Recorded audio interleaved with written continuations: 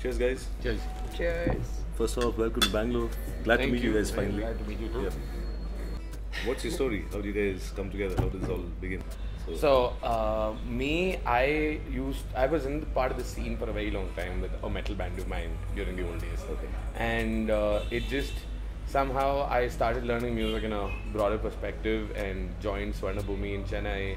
Then got out, went to the US, came back, and I joined this cafe in Kochi called Springer okay. to work as artist manager. and that's when a kid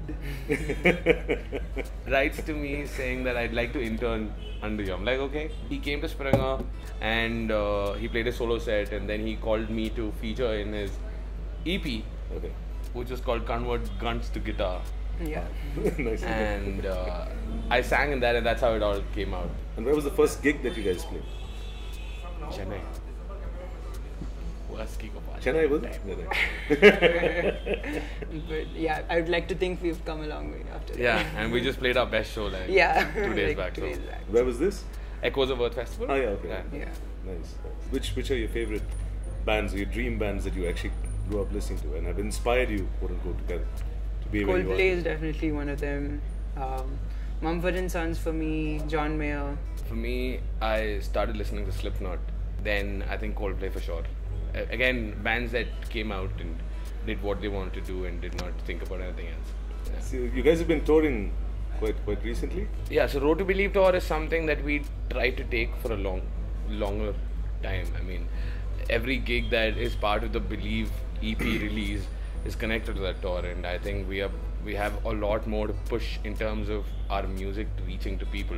Craziest tour ever, or you've, you've had worse or more fun in fact? Tour, I'm not sure, but in terms of craziest show, there was this one show in, in the Orange Festival in Dambuk where we missed a connecting flight and we had to travel 15 hours over the night um, to get there and then spend three hours playing the festival, drive another 15 hours to catch all our back back. back. Oh, this is after this three is- gigs continuously. And this was in pitch darkness. It was it was not darkness, it was black. Black. wow. Best part was the driver. And it was in, he wouldn't sleep. Thank God. so uh, Orange Festival is basically them giving a lot of oranges. Yeah. So the first time we reached there, we told the driver, so just make sure you sleep. We have to leave tonight itself. He's like, yeah, hmm, sir, okay, everything is fine. and then we see him in every corner eating orange. Where we are playing, he's right on front, right in front of in our street, eating orange again. I'm like, you're not And on the way back, he gets really cranky. Yeah.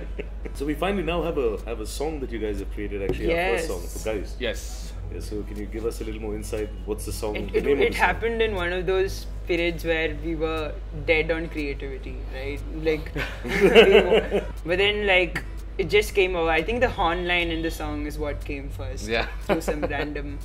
It's about celebration in general. So I think it fits with the whole mood of what Geist represents and what we represent is two individuals but in the same thing. Absolutely. Yeah. Yeah, we all love beer. Which one of your favorites to begin with from, from the guys' repertoire?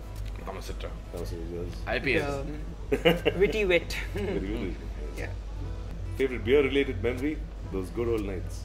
I think uh, the first time I was experienced to like proper brewed beers was when I was outside. But you never inclined before that to beer. That is. I, I obviously Already. Malayali blood, which is there. Any crazy memories with beer? I don't know if I should say anything. Censored. Obviously, you guys have, have three years down. You've there's to concise it as three parameters that you would define for a successful band and aspirational band in India, especially. I mean, Yeah, if you want to make it a profession, I think you should just give your whole time towards it. Another thing is um, to expose yourself to what's happening outside. And and the Yeah. third thing would be like obviously we have come to realize we can't do it alone. You we need a team, and uh, Mhm. we have we are fortunate to have a very talented and dedicated bunch. So probably for the younger guys who are just out there, you know, trying to get on stage and, and do their first gig, what not to do.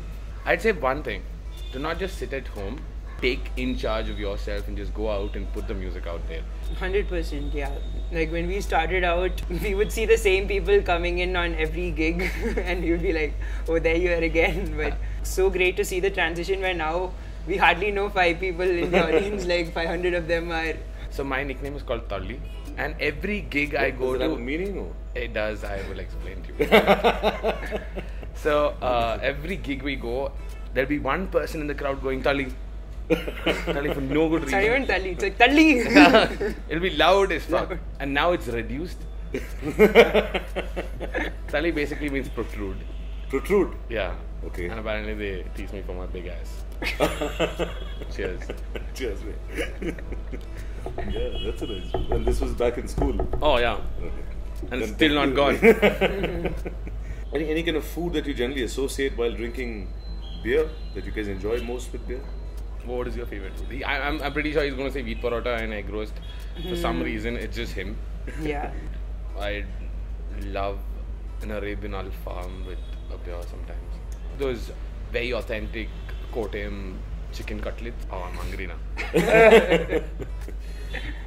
Which is your favorite, I mean, most favorite amongst the songs Go that for you guys have it. produced? Because I have a hard time answering this question to everyone. I, I basically think Billy was my favorite track.